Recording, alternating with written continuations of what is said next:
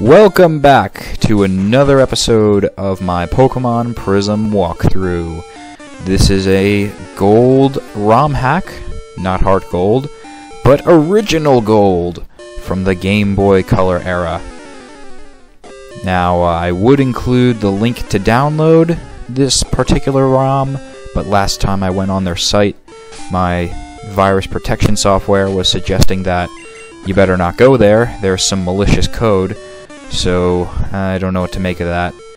This ROM that I have here that I'm playing through and skipping all the wild Pokemon because their encounter rates are just too high and I don't have that much money for repels. But, um, yeah, it doesn't seem to be giving any virus. Never noticed anything bad about it, but who knows? Things change over time. I mean, it's been a while since I've been to the site. So, Google's your best friend in this case, Pokemon Prism look it up. But uh, we just went the south route of Laurel Forest, if you were wondering where exactly we were, and we're in Torenia City. He wished he could awaken. Dreams scare me. Huh. Some tormenting dreams? I do wonder. Well, I guess we're gonna have to find out when we go talk to the gym leader. Let's just check out this city first. Never been here, so I'm not sure what it has to offer. Ooh, a magnet train! Let's see where we can head to. Holy crap! Three regions, Johto, Kanto, and Rijon. That's awesome. And we can go right away. That's freaking awesome. So now we're in Botan City. You Naloze? Naljose? Good, carry on. Yeah, how would you pronounce what we're from? We're not Kantoian, not Johtoian. Who knows? Do people describe themselves by their region as much? I wouldn't be sure. Man, this place looks great. And this is, uh, you know, I guess you can't have access fully to all the regions yet because this is still in beta. But what a great idea. I mean, I've discussed that in the Pokemon Black walkthrough extensively, how they should put many regions into one game. And that's where ROM hacks really shine, you know, it's pure Pokemon lovers' ingenuity put to the test, put to the coding test. Well, this seems like the sensible way to go.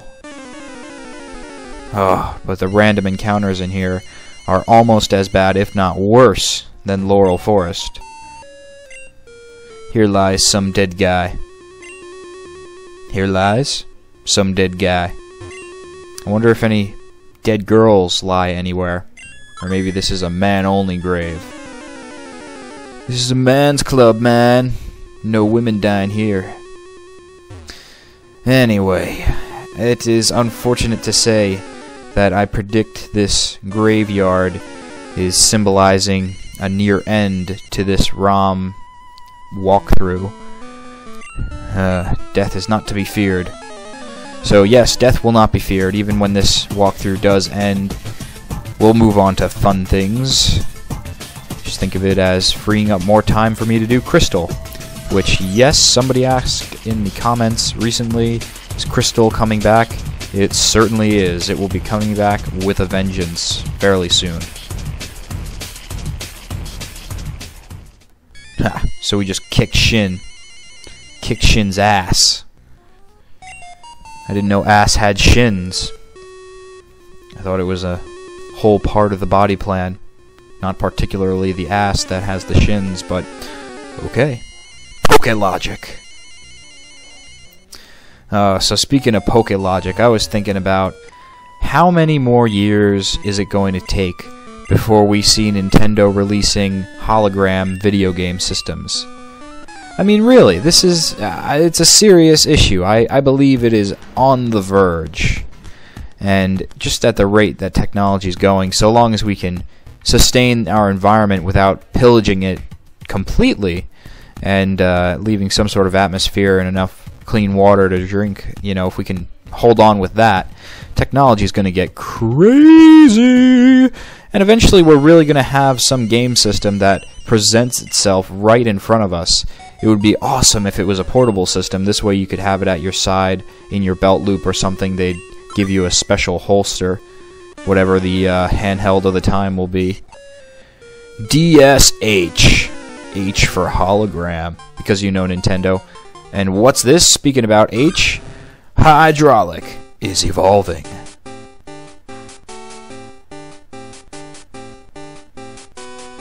Into Croconaw. Badass. Awesome. So, yes, we all know how Nintendo loves to repeat the names of its former successful systems so they can neurally linguistic program your mind into thinking the next one is going to be the hot shit. That's something interesting I don't know if people notice, but that's not something I'm going to talk about now. But how effective that marketing scheme is, just getting you to think of a past joy you had with their Nintendo console, whether it's a Game Boy Advance or a DS Fat or Light. When you hear 3DS, you're intrigued just by the DS.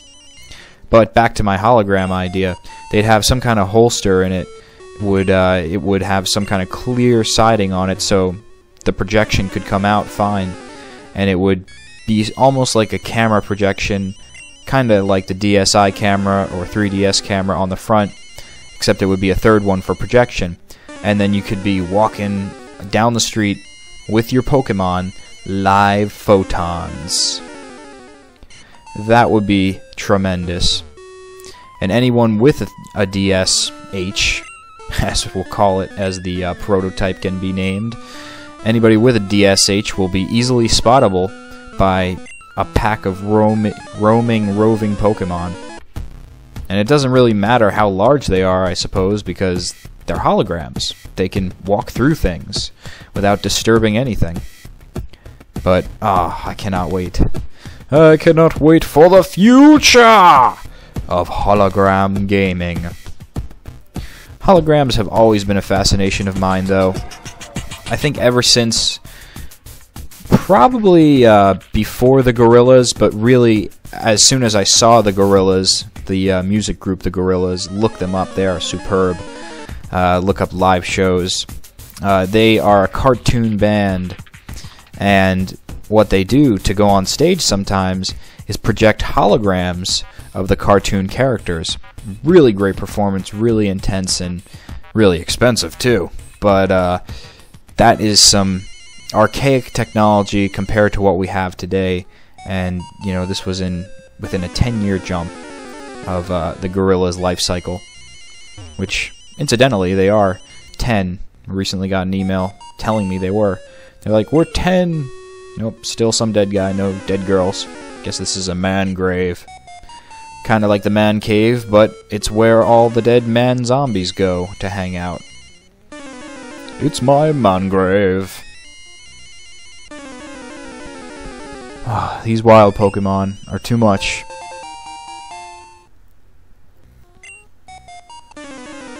Console gaming. That could be something for holograms.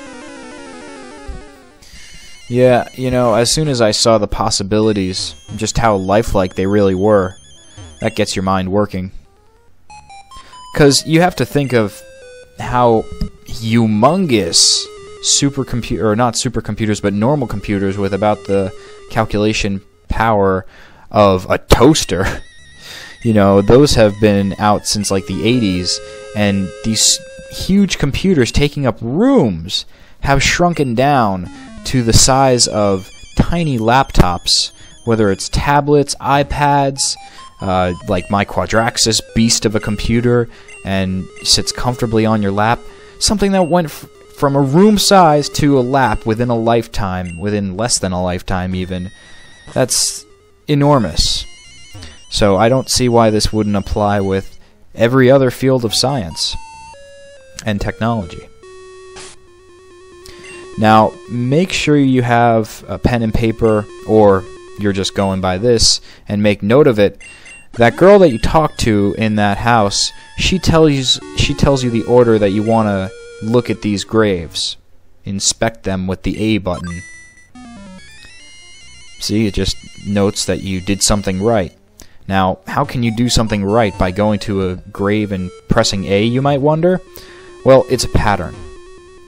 And when you do the pattern in the correct sequence, which I think my first run at this, I'm not doing it right.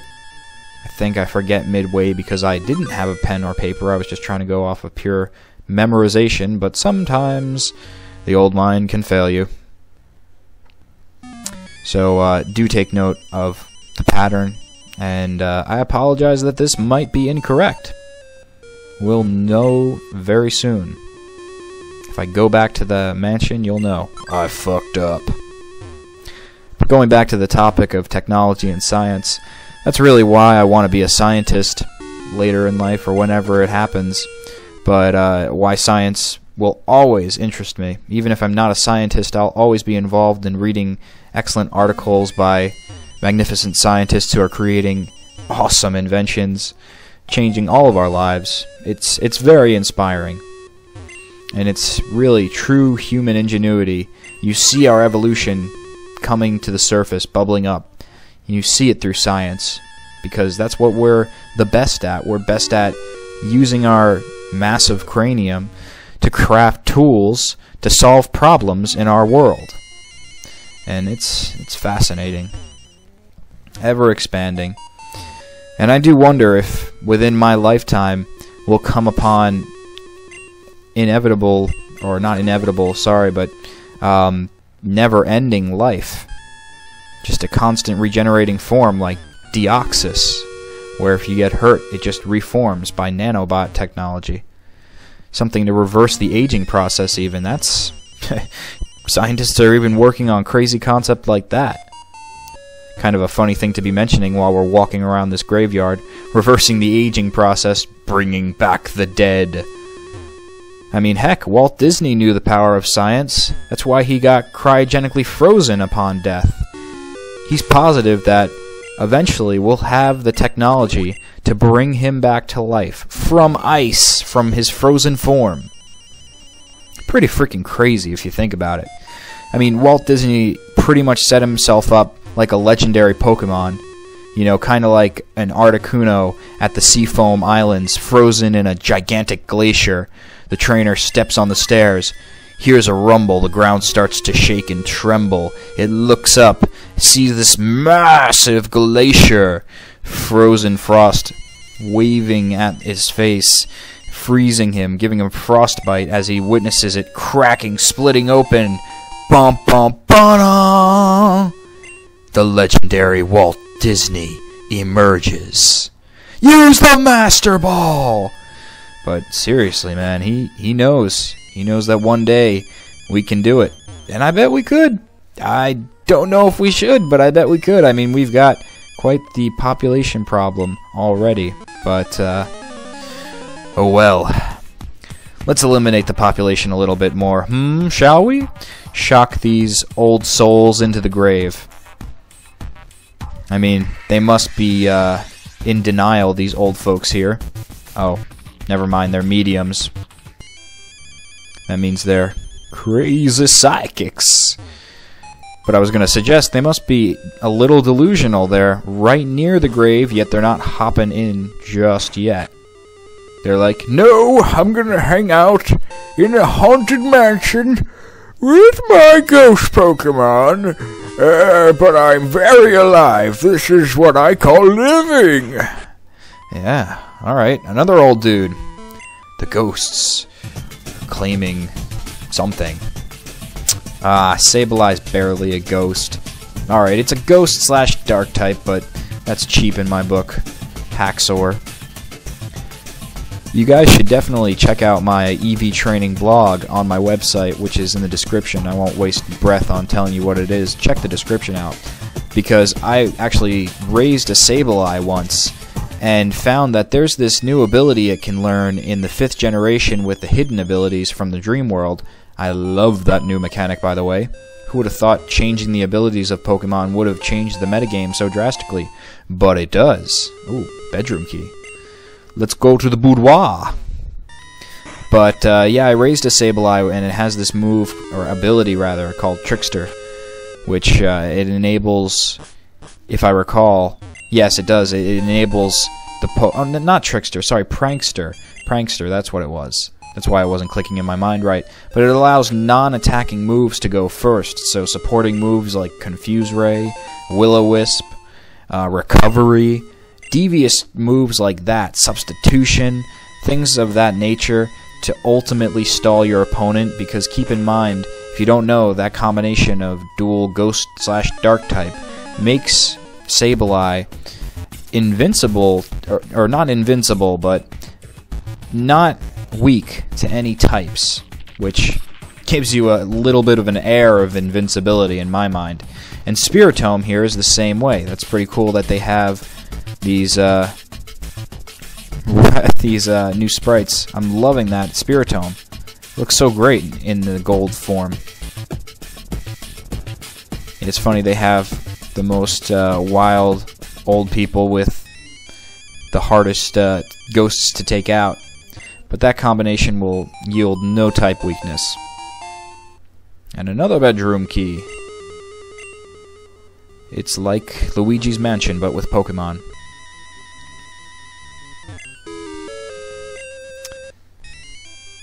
Alright.